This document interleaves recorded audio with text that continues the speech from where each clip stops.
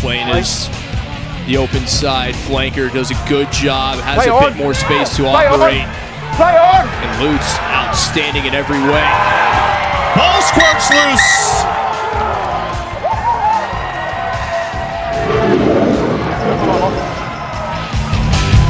Co-captains here. Little dink over the top. Here comes the chase. Needs the bounce. Esdale. He'll win the race to the ball. The question is, what's he going to Numbers to the right, they can go quick. Windsor. Over. Flicks it out to Howden. Howden. Dummies Howden inside. Has he got the speed to finish? He has more than enough in the tank. Taylor Howden. Goes at the back. Windsor. There's an opportunity here. They have some numbers. Freya.